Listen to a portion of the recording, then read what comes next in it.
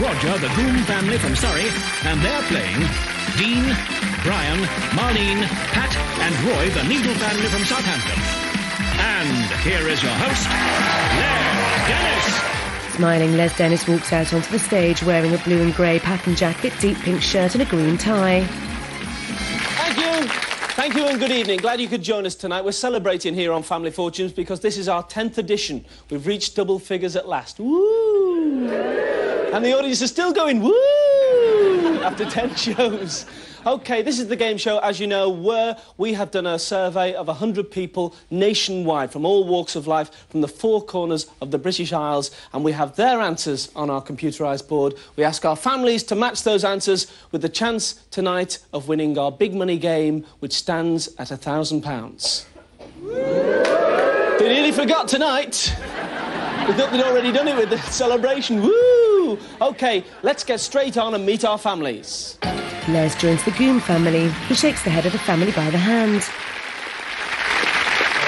We've got the Goom family. Hello, Roger. Hello, Les. How are you? Nice Fine, to see you. you. Where have you come from? We've covered Burgh Heath and Epsom, Burgh Heath, near Epsom. Near Epsom. Oh, near the race ground. near the race ground. So here we are at the starting gate, and Roger is going to introduce us to the family, and he's off. this is Sue, my wife. Hello. Sue. We're over the first fence, and we're going on to the next one. Calvin, my son. Calvin is son, and there's Calvin's going into the next row. We're over the fence. Mark's my Mark. nephew. And there's Mark the nephew, and it's Mark, and we're going on now. Who's the next person in the family? Michelle's the last one. Michelle as we reach the car, and Michelle is the winner. Well done. the Goom family. A bit of fun. Roger, the Goom family, that's an unusual name. Not not Goon, as in uh, Neddy's Goon. Hello, folks. The Goom family, where does the name come Right. from? We believe it originates in Spain. Yeah, really, going back as far as the Spanish The Armada. Armada, yeah, it's dropped off on the Armada. Great. Swam up the north coast. You know. And got to you. uh, I won't tell you what happened next.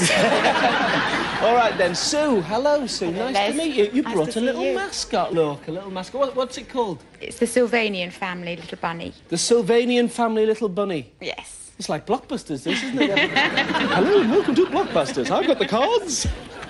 And we have the families. It's our little daughter Rebecca's, and she asked us to bring it on. Oh, lovely. There you, you. go, Rebecca. Your little mascot's there. No, I wouldn't do that. Sue, what do you do for a living? I'm the manageress of the Gatwick staff shop. Oh, really? The mm-hmm. Gatwick- Oh, I hate flying. I'm not frightened of flying, I'm frightened of crashing. I hate it when you're sitting there and they say, Would the last passengers make their way to the final departure lounge? The final departure lounge? and then you walk through a gate that says terminal. nice to see you too. Hiya, Calvin. What do you do? I'm a computer consultant. Oh, you're a computer consultant. So if we have any troubles, which touch wood we haven't had so far in, in 10 shows with our board, you'll be able to help us out? I should think so, yes. Because our board very often does go wrong, don't you, board? Clever clogs. Right, nice to see you, Calvin. Mark, Hello, what do you do? I'm a flight dispatcher at Gatwick Airport. You're at Gatwick Airport as well? well, yes. So you handle all the baggage? Uh, yes, I do. Here's the guy we've all wanted to get. You know when you stood there and it's going round and round and round and yours doesn't come, he's behind going... They're going on holiday, I've got their bags. nice to see you, Mark. Michelle. Hiya, how are you? I'm fine, thank you. You work for Price Waterhouse, is it? Yes, that's right. And it says here that you were sent on a course to find out what you were doing. Did you know what you were doing? I knew, yeah, but it was what you were supposed to be doing. Oh, What they expected of you. But, um, you were probably doing what we believe you do quite a lot, impressions. Uh, Yes, well, Yeah, yes. she's an impressionist. she's a she's a secret impressionist, and you do Rick from the Young Ones. I tell you what, I'll do. Uh, Hello, my name's Vyvyan, and I'm really, really alternative, and this is Rick. I'm not going to have a really good time.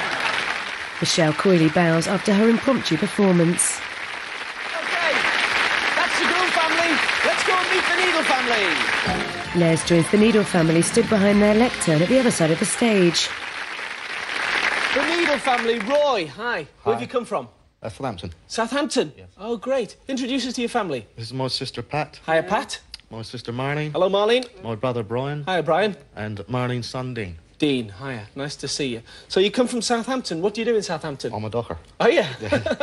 a docker. Because I come from Liverpool, where we've got a lot of dockers, you know, and they've got these unusual names. They give them different names, the dockers. Like there's a fellow called Wendy. You always when do we get paid? nice to see you, Roy. Hiya, Pat. What do you do? Just a housewife. Just a house. You shouldn't say just a housewife. It's a very important job these days. Well, it, it always has been. But I've got down here that when you went on your first driving lesson, you drove out of your Not my drive. driving lesson. It wasn't your driving lesson. No, I was instructing. You were instructing. yes. But, but somebody else drove out of the drive. Marlene, you drove out of the drive, across the road, and smashed into the house on the other side. Was it a write-off? The car was, not the house. Yeah. By the kitchen. You're a good instructor then. You haven't done it since. Marlene, Hello. I've also got here that you're unlucky. and you've not um, apart from actually smashing into that house, you've actually been knocked down three times. really? Yes. How did that happen? I kept walking out the road. You shouldn't do that. Walking out on the road, it's very dangerous. You're likely to get knocked down. Nice to see you, Marlene. Brian, hiya. What do you do? I'm a welder. You're a welder. Yes. And you, um, you went moonlighting. I don't mean, hey, Bruce Willis moonlighting, hey. I'm talking about you went, you actually did a job for a friend, didn't you? Yes. an ex-friend now, I think. Yeah. An ex-friend. I'm not surprised because you were welding and you set the friend's car alight. what did you do? I put it out quickly. I didn't charge you. You didn't charge him. I should hope you didn't. Dean, hiya. What do you do for a living? I'm property developer. Property developer. Dean is a property developer there in Southampton. How nice. What, what do you actually do then, property developing? It says that you're converting barns into luxury houses. Yeah. What do you do? Push the wheelbarrow. Property developer. That's the families met. Let's get straight on and play Family Fortunes. The heads of both families join Les at the central lectern. Okay. Roy, shake of the hands with Roger, and then hands behind your back so that you start in exactly the same position. I'll open the cards, that would be a good idea, and tell you that we've surveyed 100 people, and the top seven answers are on the board for you to reveal. Name an item of clothing you put on in the morning. Roger. A Shirt. A shirt. Roger puts on a shirt in the morning. Yeah, I thought it would be there, but there are four more popular ones. Roy, can you find one? the underwear. The underwear. You put on your underwear first. It's the top answer, pants or knickers. Good job you didn't say knickers, Roy. You're going to play or pass? Play. Play, OK. Rejoin your family. Right, I'll give you the uh, question again and just tell you that there's no conferring for you, but of course the Goom family can confer. An item of clothing you put on in the morning. My bra. Your bra. OK? Bra. Well done. Good answer. And remember, when we asked this question, we're talking about 100 people and they're of all sexes, so it might not necessarily mean you personally. Suspender belt. A suspender belt. That's you personally, is it? Right. Just in case you get knocked down. A suspender belt. No, one life lost. Brian. Socks. Socks. Yes, socks is there, and it's actually won you a prize. Let's reveal it on the board. It's won you a family-sized trailer tent. Congratulations, Brian. Thank you. Well done. Les shakes his hand. Dean, an item of clothing you put on in the morning. Slippers. Slippers. Yes, well done. I wouldn't have thought that was there, but, it, but well done. Roy, Uh, your pants. your pants. You've got the underpants, you've got the suspender belt, and your bra. Not you personally, I mean everybody. and we're now looking for the trousers. No, you wouldn't believe that. Two lives lost of the Goom family got a chance to steal. Pat, Um. Dressing gown. dressing gown. Yes, well done. Save that one life that's left. Marlene. Shoes. Shoes. No, so the Goom family have a chance to steal the money. We say skirt. Skirt. No, so The money. Congratulations. Well, when we surveyed 100 people and asked them what they put on in the morning, the sixth most popular answer was a vest. OK, let's get straight on and play the second round of Family Fortunes. The next two contestants join Les at the central lectern. That's it, shake of the hands there. Right, 100 people have been surveyed, and this time the top five answers are on the board. Name something dogs do. Pat, Wag their tail. wag the tails. Dogs wag the tails. They do, but it's not there. Sue, Sue struggles to think of an answer. something dogs do. Bark. Bark. Dogs bark. Top answer. Well done. Do you want to play or pass? Pass. Pass it over. Okay, Pat, rejoin your family. And remember, there's no conferring. Marlene, We. something dogs do. dogs. Pass water. That's what we say in Southampton. no, they, they do. Cock the leg up on trees. Okay, Brian. Walk. Walk. Dogs walk.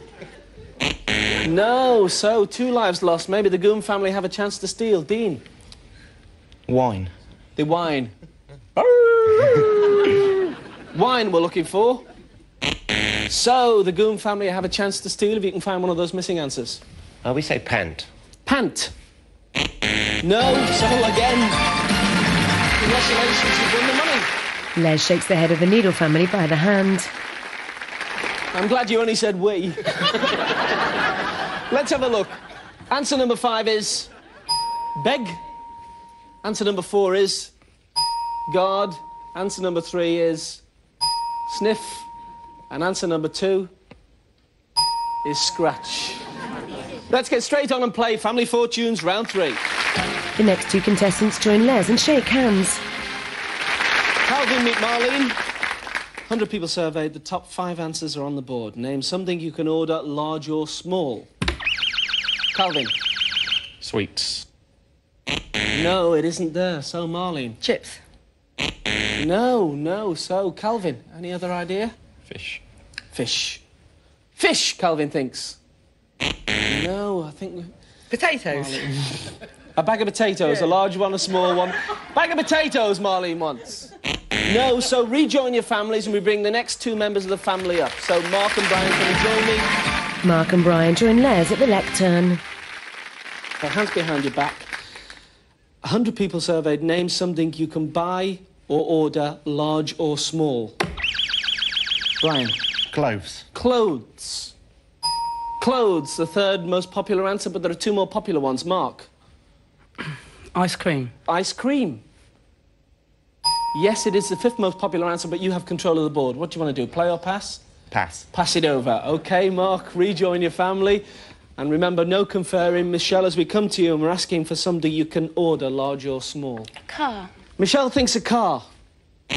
No, one life lost. So, Roger, any ideas on that? Hamburger. Hamburger. No, so two lives lost. So the Needle family maybe have a chance to steal. Sue, Coke. it's not an easy one, this is it? No. A, a large or small drink. So, Yes. Drink of some. kind. A large or small drink. Drinks. Well done. Well done. It's the top answer, and it's actually won you a prize as well. Okay, let's reveal on the board. You have won a family-sized food hamper plus wine. Thank you. Congratulations, Sue. Calvin, Shoes. shoes. No, so the Needle family maybe have a chance to steal. Roy, Hat. a hat. No, so well done, Roger. Congratulations. Roger Goom looks pleased with himself. £54 at last on the board.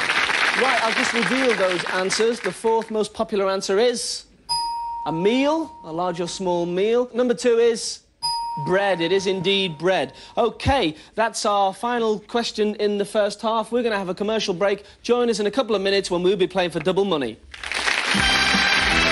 Family Fortunes, end of part one. Back soon.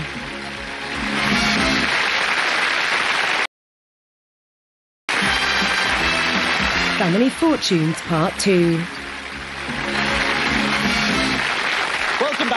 The stage. The Needle family from Southampton have £160 in the bank and, of course, the trailer tent that they won. And the Goom family from over there in Epsom have won the food and wine hamper and they have £54 in the bank. Quite a difference between the scores, but that can all change now because we're playing for double money. Moving graphics on a computerised board read double money.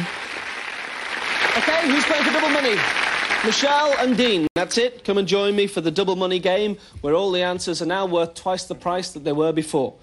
Okay? 100 people surveyed, and we're looking this time for the top four answers to be revealed on the board. Name a wine-making country. Michelle. France. France. Uh, well, the Mecca, the vin de France. France! Top answer. Play or pass? We'll play. You're going to play? Okay, rejoin your family, and remember there's no conferring, but of course, Needle family, you should confer. Roger. Germany. German wines, we're looking for. Yes, it's the third most popular answer. Sue. Italy. Italy. Let's have a look if Italy's there. Italy. That's a good answer. Calvin. Spain. A winemaking country. If Spain is that missing answer, you've won the money in the bank. Let's have a look if Spain is that missing answer. Spain, well done.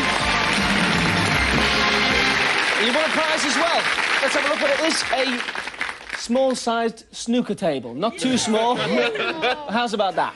Smith, How's about lovely. that? Gavin Well done. So, there are no answers to reveal, and we go on to play the second game of Big Money. Roger and Roy join Les for the next game. Roger and Roy, right. Double money question. We surveyed, surveyed 100 people, and the top four answers are on the board. Name an expensive present a woman would like to receive. Roger. A ring. A ring. A ring of some kind. Jewellery. Yes, it's the top answer. Do you want to play or pass? Roger looks at his family. We'll play. You're going to play. Right, rejoin your family and remember no conferring. Sue, an expensive present a woman would like to receive. A car. A car? We're looking now for a car. Yes, well done. It's there. Calvin, Fur coat. fur coat. Let's have a look if fur coat is there. It is indeed. So we're just short of one answer and there are still three lives left. Mark, A holiday. holiday. No, so one life lost. Michelle. No, sorry. Right, so two lives lost. So, Needle family confer, you have a chance to maybe steal. Roger, Roger looks at the answers on the board. A new house. a new house. No, so, Needle family, if you have an answer, you're going through to the big money game. Perfume. If perfume is that missing answer, you're playing for big money. Let's have a look. It is indeed. Congratulations. The Needle family are overjoyed. So, Les shakes Roger Goom by the hand. sadly, we had to lose the Goom family, but of course, Roger, you're taking back with you the souvenir photograph, the famous Family Fortunes photo taken of us all this afternoon. Take that with our compliments. and Sue, congratulations, well done. Mm. And Calvin, well done, congratulations. Mark, well done. Michelle, well done. Thank you. But of course, you're also taking with you that food hamper with the wine, the snooker table, and £248. Ladies and gentlemen, the Goom family. The Needles join in the applause for the Goom family. Congratulations, Roy. Who's playing the big money game? Do Pat and Dean. Pat and Dean, would you like to join me now, front and centre, please? The lights dim as Pat and Dean join Les in a spotlight at the front of the stage. Hey, Pat, you're playing first. So, Dean, you go and sit in our soundproof booth so that you can't hear any of the answers that Pat gives us. Right, I'll explain the rules. You have 15 seconds to answer five questions, but the time doesn't start until I finish asking the first question. Okay? Yes. Can we have 15 seconds on the clock, please? Name a kind of soup, Vegetable. a British coin, Penny. a girl's name beginning with the letter M, Mandy. part, part of a hi fi set, The needle. something a burglar might use or wear. Jemmy. What's that answer? Jamie.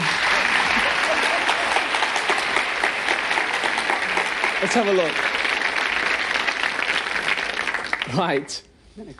We need 200 points between the two of you to win that £1,000 to add to the £326 you already have in the bank and that trailer tent that you're taking back to Southampton as well. I asked you to name a kind of soup. You said vegetable. Our survey said four. I thought that was a good answer, but only worth four. I then asked you to name a British coin. You said a penny. Our survey said 20, 24. I then asked you to name a girl's name beginning with the letter M. You said Mandy, Mandy? our survey said. None, because of course it's a it's a shortened name for Amanda, isn't it? Oh, Isn't it, Mandy? I then asked you to name a part of a hi-fi set. I love this answer you gave us. From the Needle family, you said. Oh, Needle. Our survey said five. And then asked you to name something a burglar might use or wear. You said a jemmy. What's a jemmy? Crowbar. A crowbar, okay. You said a jemmy, our survey said 23. Well done. 52. Okay, rejoin your family, Pat. And we'll bring Dean back. Pat's answers are wiped off the board. Okay. That's it. Dean bounding back. Your anti-Pat Dean has scored 52, so you need 148. But it's a high score, but you can do it. All right? I'm going to ask you the same five questions I've already asked Pat, and you have 20 seconds to answer. If you duplicate any of those answers, you'll hear this sound, and I'll ask you for another answer. Mm-hmm. Can we just remind the viewers at home of the answers that Pat gave me, and can I have 20 seconds on the clock, please? Ready? Mm. Name a kind of soup. Tomato. A British coin. Pound coin. A girl's name beginning with the letter M. Marlene. Part of a hi-fi set. Stereo. Something a burglar might use or wear. Mask. Okay. Les puts a reassuring arm round Dean as they turn and look at the board. Right. We need 148.